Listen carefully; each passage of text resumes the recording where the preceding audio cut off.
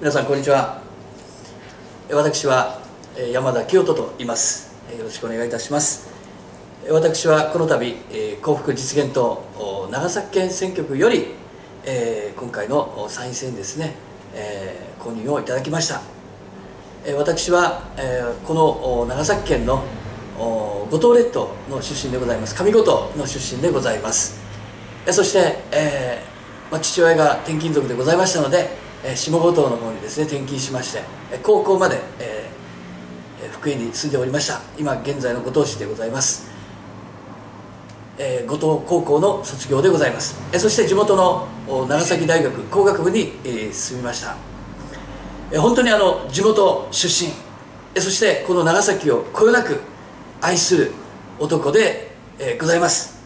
それをぜひ皆様方に、えお伝えさせていただきたいと思います。そして私がなぜ政治家を目指したのかと言いますとですね実はあの地元のこの長崎大学の工学部時代にですね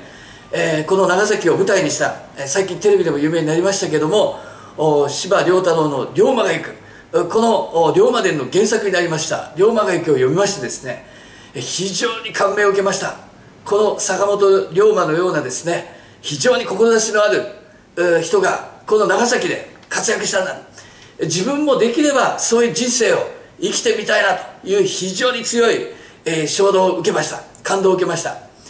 そして、えー、私自身はですね、えー、この坂本龍馬に感化を受けそしてこの長崎の地でですね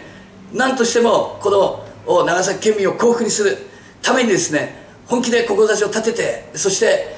さまざまな、ま、経済的な課題を克服し長引く不況をですね克服してそして国防上の問題こうしたものも克服していきたいと思います。そして何としてでも私のこの愛する長崎の地にですね皆様にご恩返しをしたいという強い強い決意でもってですね今回の参院選に臨ませていただいて、え、おります。私は皆さんの幸福のために実現のために立ち上がりました。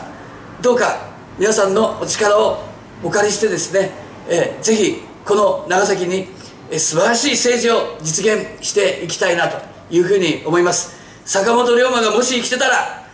長崎をこうしていく日本をこう変えていく。これが私自身の政治信条でございます。そして皆さんの経済を豊かにしてそして日本の国を守ってそして長崎を本当の意味での繁栄に導いていく。それが私山田清人でございます。長崎県民の皆様どうかよろしくお願いいたします。ありがとうございました。